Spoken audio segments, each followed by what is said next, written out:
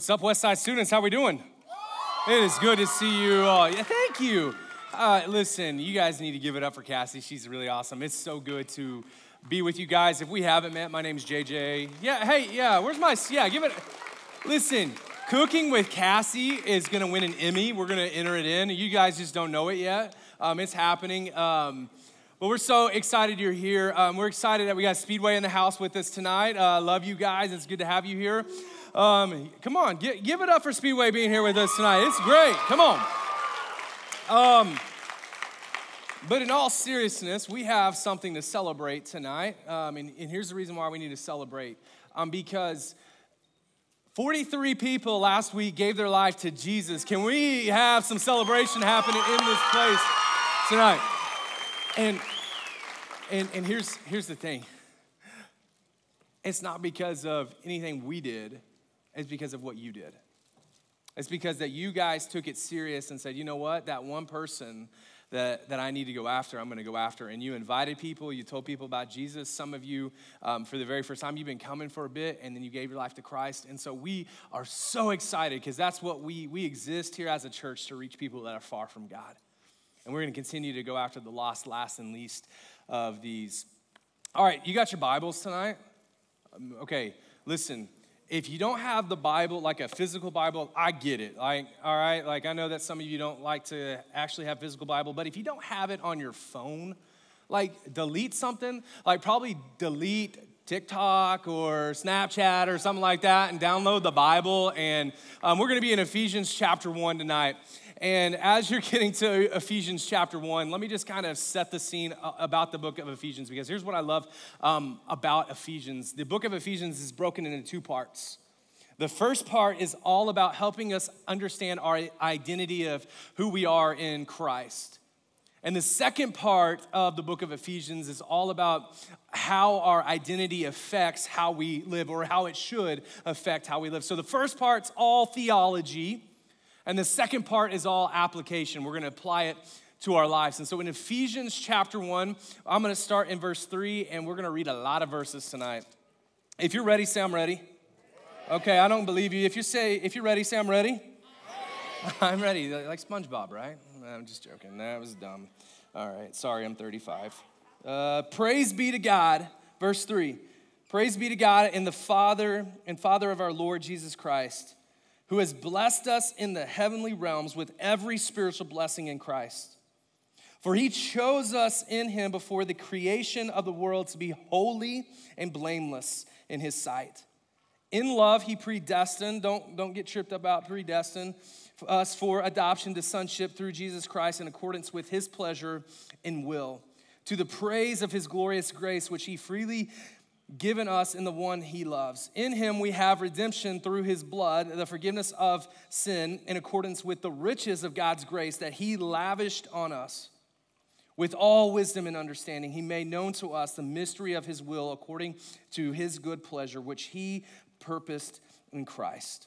To be put into full effect when the time reaches their fulfillment, to bring unity to all things in heaven and on earth under Christ. In him, we are also chosen, having been predestined according to the plan of Him who works out everything in conformity with the purpose of His will, in order that we, who were the first to put our hope in Christ, might be for the praise of His glory. And you also were included in Christ when you heard the message of truth, the gospel of your salvation. When you believed, you were marked in Him with a seal, the promise promised Holy Spirit, who is a deposit guaranteeing our inheritance until the redemption of those who are God's possessions to the praise of his glory. So, tonight we're kicking off a brand new series called Note to Self. This entire series is all about your identity, and more specifically, your identity in Christ. And so, this is like the one, the one phrase that we see in Ephesians chapter one is this idea of being in Christ. And so, what I want to talk to us about tonight is what does it mean for us to be in Christ? And how does that affect us? But before we do, would you just take a moment and pray with me? God, I'm so thankful, Lord, for your word. God, I'm thankful and I ask, God, that um, you would just speak to our hearts right now. God, I already know that you're working in us. God, you're already working through us and you're going to work beyond us. But God, I'm just asking in this moment that maybe we would grasp what you're saying to us in your word. May we would grasp this because, God, I believe that it changes everything when we understand who we are in you. And so, God, I just pray in these next few minutes, God, that, that we would listen, that we would take notes. Because if we take notes, God, I know that the Kansas City Chiefs will win tomorrow night. Amen. All right, like there we go. All right, like there you go. If you don't take notes, we're not winning. That's on you. And Patrick Mahomes gonna be throwing TDs and stuff like that. All right, uh, quick question. Show of hands. How many of you have a Be Real? Be Real. All right, thank you. I actually um, Huh? You always react to mine? Well, I have forgot to post mine, so I'm gonna post late from yesterday. So I'd love who wants to be my be real real quick. Here, yeah, you're right here. Here we go. Don't worry, I'll tell you in just a second. All right, there we go. All right, I just listen. I'm sorry. Now you guys can go like it and everything like that. Um, let me be real about be real for a second, huh? Uh, JJ Lane 15. Everything's JJ Lane 15. Yeah, if you really want to know. It's, I know, I'm such a dork. It's like, what's your basketball number? 15. Okay, just throw it at the end of your name. All right, that's, that's what I did. All right. Um, so let me be real about be real for a second. Um, back in July, I don't know if you guys remember this or not, but in July we had this thing called Christmas in July. And for some reason, I was con- actually, I just did it on my own uh, volition. I found a Rudolph the reindeer um, costume and I decided to wear it on uh, the Christmas in July. I actually think we have a picture of this. All right, and, and literally, like, that's it, right? I cannot see, I could not see out of that uh, costume. But what I noticed is like there is like this group of people that were super excited and they're pulling out their phones and they're taking pictures. And I know some of them ended up on Instagram, some of them were on your Be Reals and stuff like that. And so um, I didn't know what was happening. I was like, this is crazy. You guys are being crazy. So the next day I asked the one of the only Gen Z people that I know that's an adult, and that's Estrella. I said, Estrella, what was happening last night? And um, don't judge me, I'm 35 years old. I can't keep up with you guys, all right? Like, yeah. I asked her, I was like, what, what in the world was happening? She's like, they were posting on Be Real. And I was like, what's Be Real? And so she, I know, like, right? I was like, it's like, what's MySpace? You don't know what MySpace is. I know what MySpace is. Welcome to my world for a second, all right? But like, you guys were like, I don't, I don't. She's like, here's what Real is all about. They they send you a, a, notification every single day, and you're supposed to post, and it's supposed to be like whatever um, you're posting about. So I was like, that's dumb. Like, I'm sorry. Like, I love you guys. Like, I was like, that's stupid. And I was like, I'm not getting it. I'm, I'm not bashing you guys. Like, don't worry. I have a Be Real now. Because on August 20th, do you have one? Okay, I'm just not stupid anymore. I think it's cool. I got to be real. And and I my first one, I, we don't have a picture of this, but like I I just had this I don't know, this dream in my mind that this social media app was gonna be just a little bit different. And so my first time it popped through, I was like, yay. And I was about to plug my phone in because I was going to bed at eight o'clock.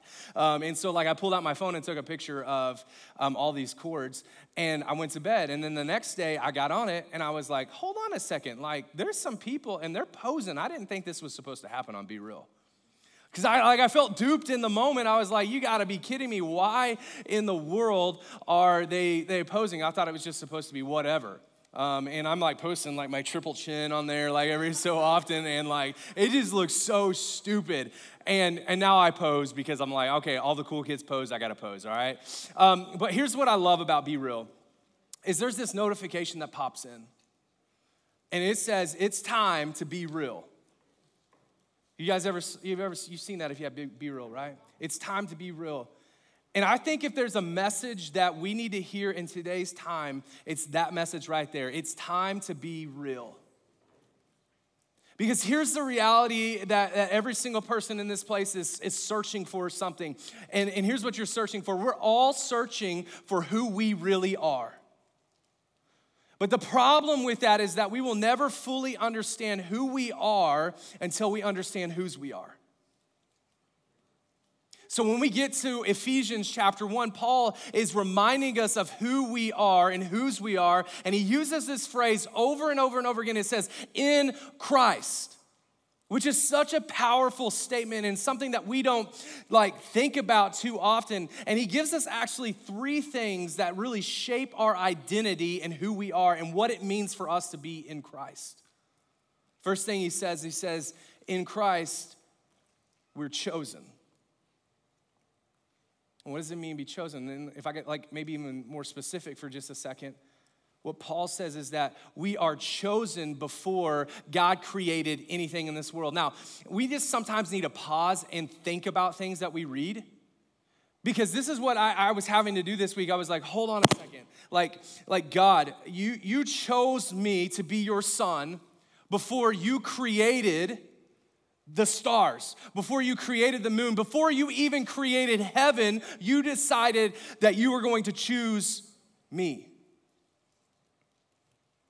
So let that sink in for a second.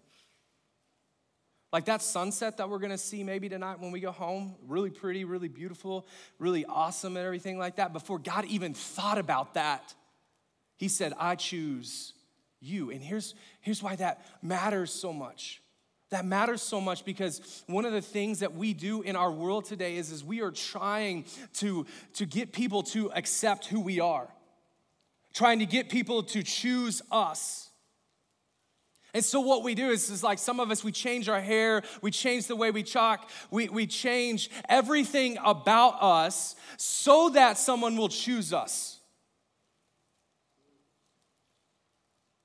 And what this is reminding us is this is that we don't have to live for the approval. We don't have to live to be chosen. We are already chosen by the God of this universe who created everything. And before he created everything, he says to us, I choose you. And that's big because not only does he choose, like he, and when he says he chooses you, he chooses all of you. He chooses your quirks. He chooses your insecurities. He chooses your weaknesses. He chooses your strengths. He chooses everything about you, those things that you don't like about yourself. God says, No, I chose you. I choose you. It's powerful when we stop and we actually think about the fact that God picked us and He chose us. And we know that He chose us because Paul reminds us that not only in Christ are we chosen, but we are adopted. I don't know what you know about adoption, but let me tell you this adoption's a choice. And, and, and I've never had the opportunity or felt like that's what God has led me to. But some of the things I've, I've learned this week about adoption is this is that before you adopt someone, the adoption, adoption agency or someone like that, they're gonna sit down with you and they're going to make sure that you understand all the risks. Like, so they're gonna make sure, like, hey, like this kid could have something wrong with his heart this kid could uh, eventually like say, "Hey, you know what? Forget this. Like you adopted me, but I don't want anything to do with you," and leave. This kid could um, have like this anger issue or a behavior issue, and they want you to understand all of the risk before you adopt someone.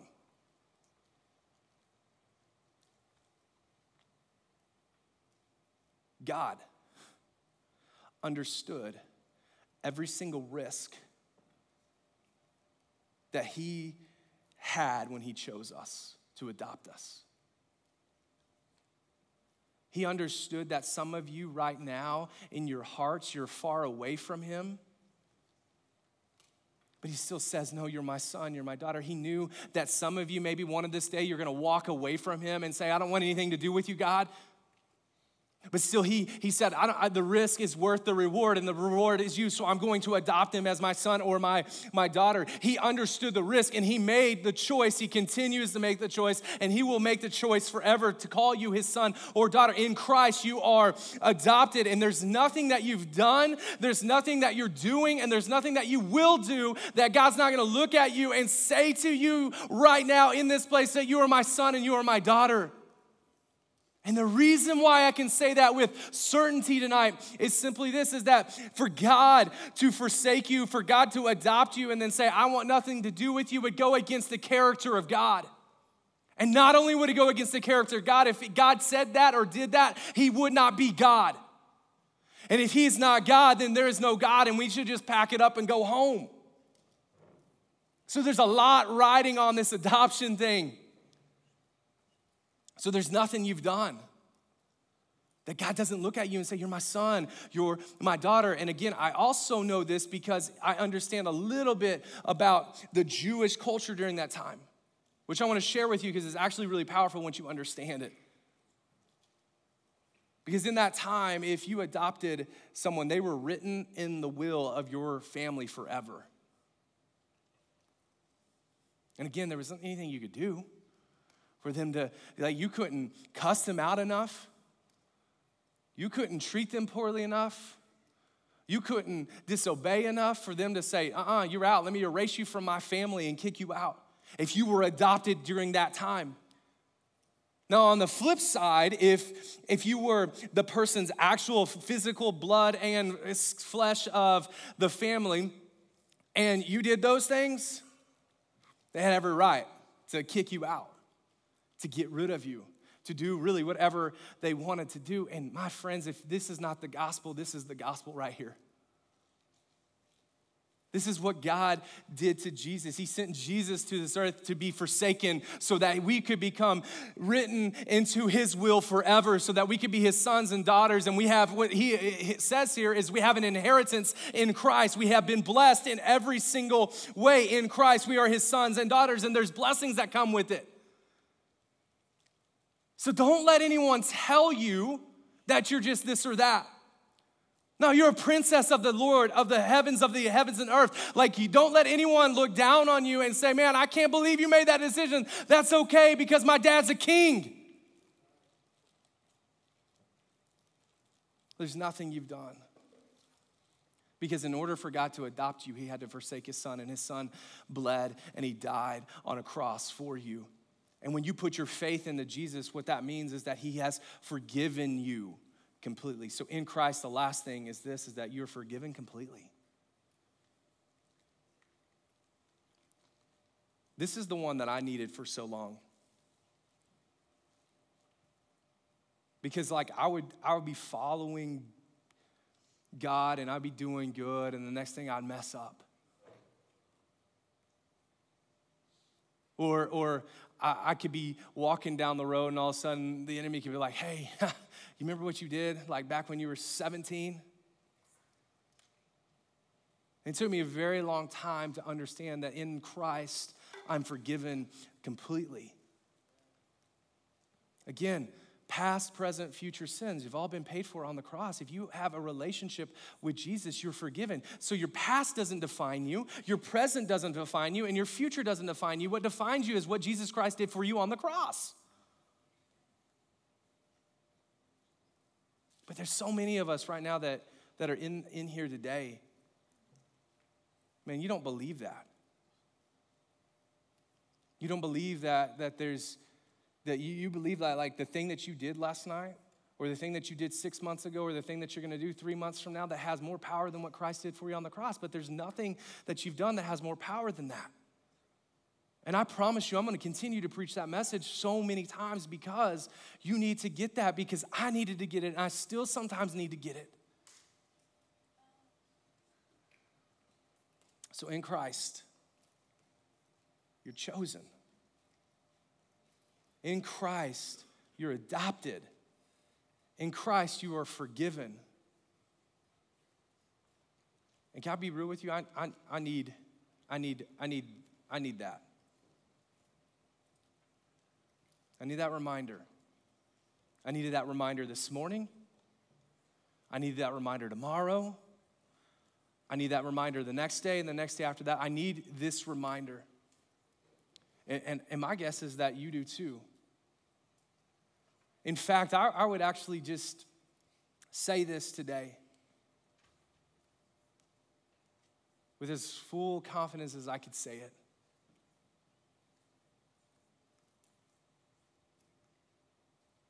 That the identity that you need and the thing that you need and the thing that you're looking for in this world is found in Jesus.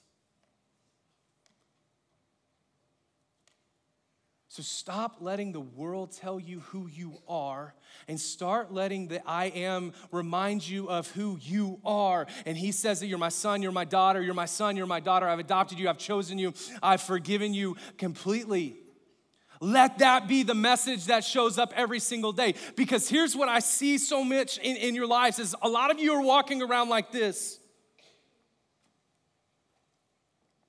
But when you understand who you are in Christ, what happens is you can't look down because God is the lifter of your head. And what He does is He lifts your head up and you're able to walk with a strut, not because of anything you did, but because of what He did.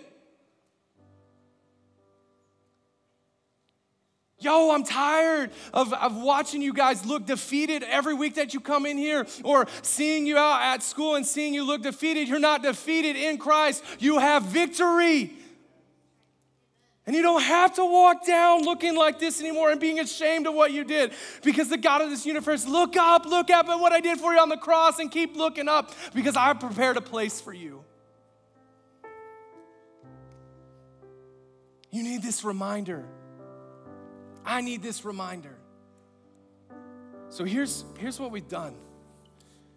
In, in your communities tonight, I'm gonna give you something that looks like this. This is mine. I tore it off because it had a really tall piece.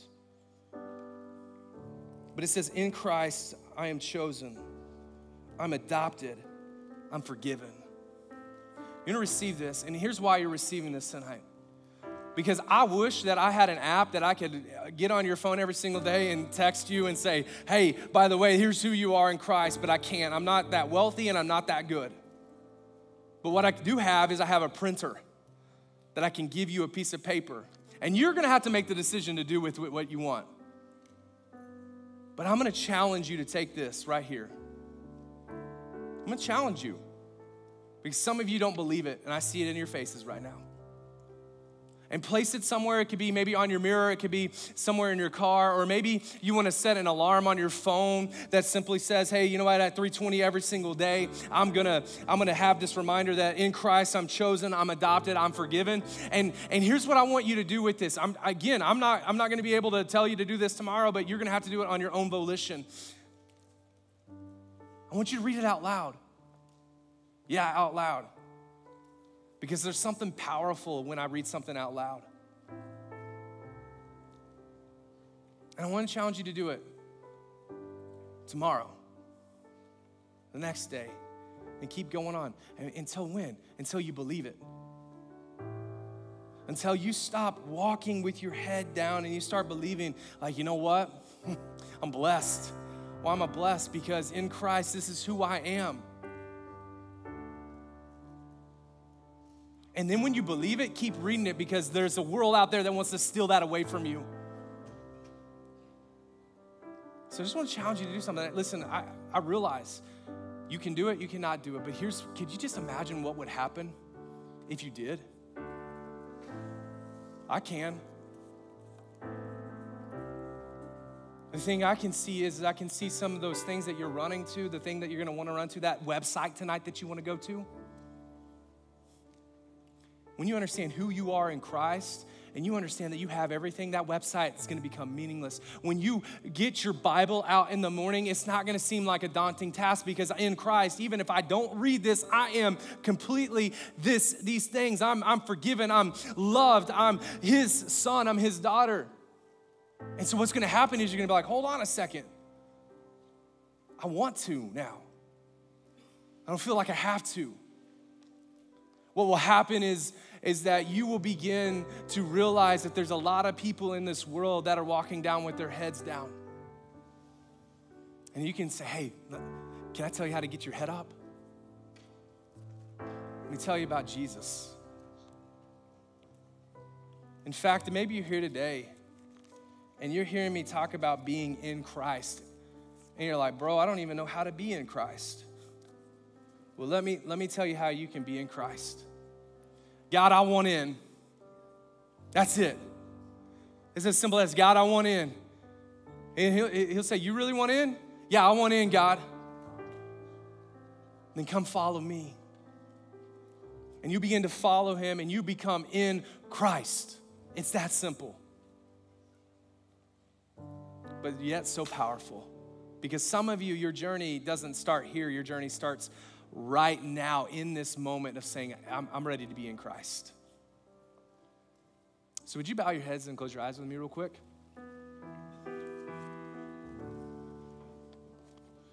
I don't know, maybe just maybe that's someone here today, if you're just really honest, and you would say, Hey, I'm, I'm not in Christ, but I want in. If that's you and you say, Hey, today I want to be in, I want to be in God's family, would you just raise your hand where you're at? I don't want to be in.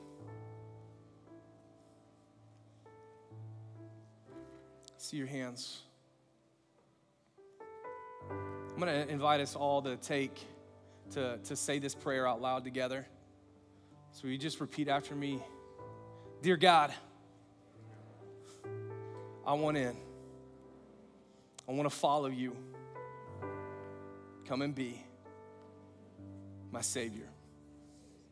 It's in your name we pray. Amen. Amen. I want to invite you to stand up now and um, come and worship with us.